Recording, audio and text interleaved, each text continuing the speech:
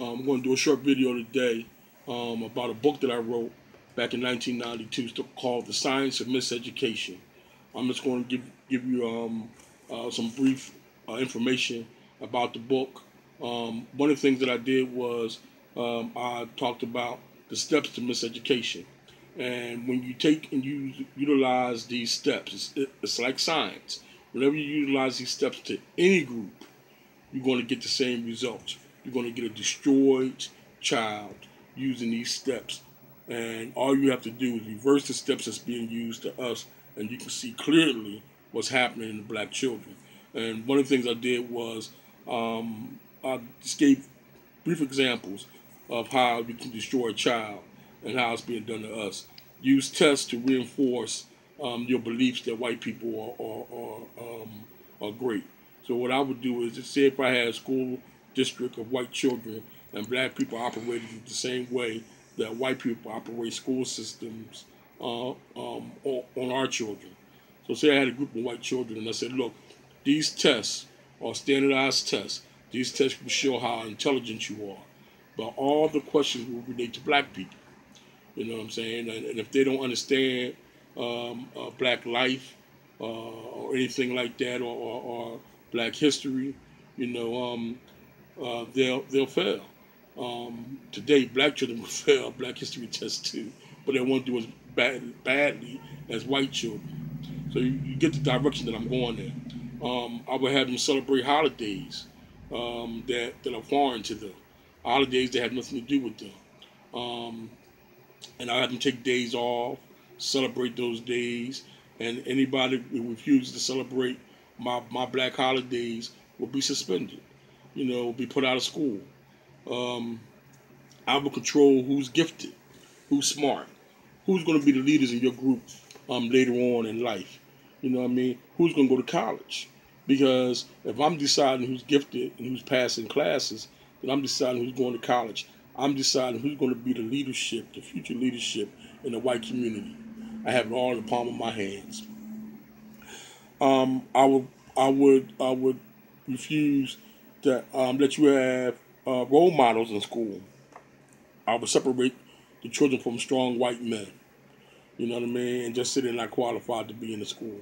Or if they're in the school, I might hire a few white uh, uh, uh men to to administer discipline, so my hands won't get dirty.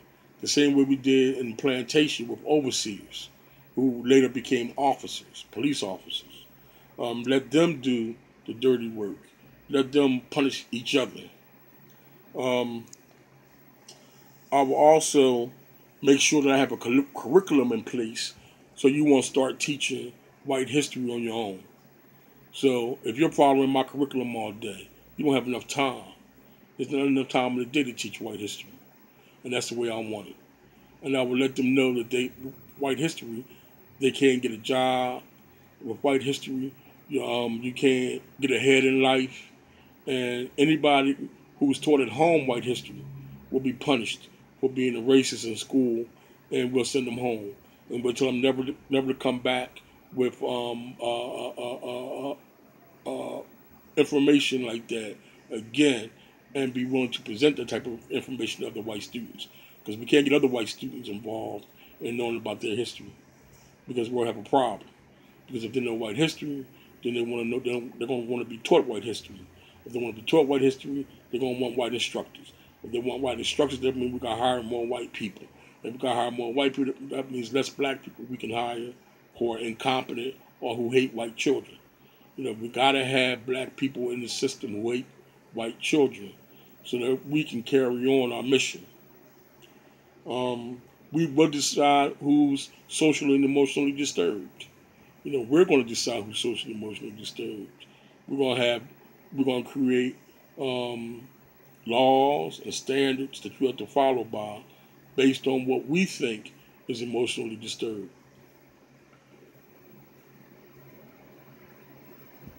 We have to use standardized tests again to reinforce the idea that we are superior to white people. So what we'll do is we'll test the test.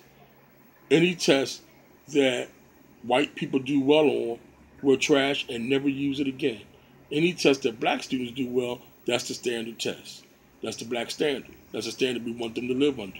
So if white students fail, you know what I mean, the, the, the black test, that's on them.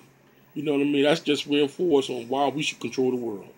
You know what I mean? We got to convince you that you're that you're dumb so that you will stay on the bottom and that you won't never question our intellect and our power and control over you. So this is just part one of a series that we're going to do on the science of miseducation. Um, brothers and sisters, just think about um, what we're talking about and peace.